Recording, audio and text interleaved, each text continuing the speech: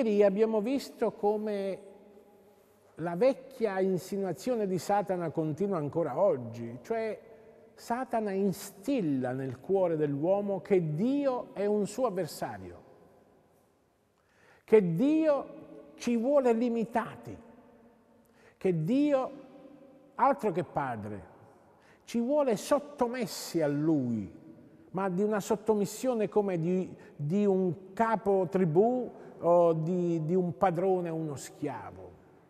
Cioè che Dio non ci fa liberi, che Dio non ci ama, perché chi ti ama ti fa felice, ti rende libero, ti fa crescere e non è geloso della tua crescita.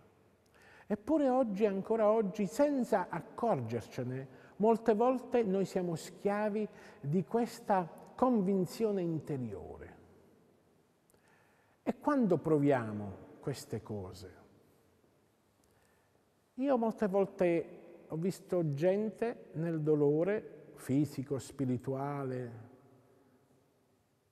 eh, inveire contro Dio, sentire Dio come un, un avversario e non come un padre.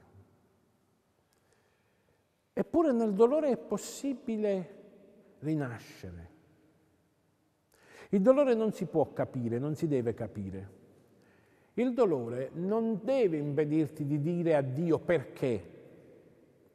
Perché ce l'hai con me, perché mi hai fatto questo, perché mi hai tolto mio figlio, perché mi hai tolto mia moglie, perché mi hai tolto mio marito, eccetera, eccetera, eccetera. No, tutto questo è umano, ma poi dobbiamo avere in noi quel senso di umiltà, di umanità che mi porta a dire, Signore, io non capisco, non ti capisco, ma so che sei padre e mi devo fidare di te.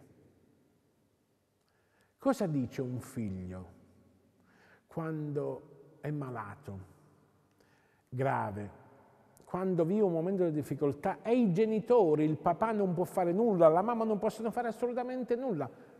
Cosa fa? Ci, si prende solo i loro abbracci, sente il calore della loro, de, della loro presenza, parla con loro, inveisce contro di loro, ma alla fine ciò che conta è l'abbraccio di questo padre ed è l'abbraccio di questa madre. Questo per dirci che non dobbiamo mai sentire Dio come lontano da noi, non dobbiamo sentirlo come un nostro avversario e quando ci vengono queste eh, questi pensieri, queste tentazioni, dobbiamo pensare subito alla prima pagina, a meglio al primo libro della scrittura, il libro della Genesi, in cui Satana mette nel cuore di Eva e di Adamo il sospetto che Dio è geloso di loro, che Dio non vuole la loro felicità, che Dio è invidioso. E di lì nasce poi il peccato di orgoglio, da cui nascono tutti gli altri peccati. Peccato di orgoglio come eh, radice di ogni peccato.